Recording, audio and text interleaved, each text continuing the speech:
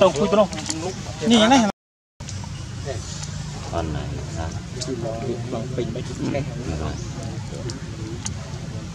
mình đi thỏ chân nó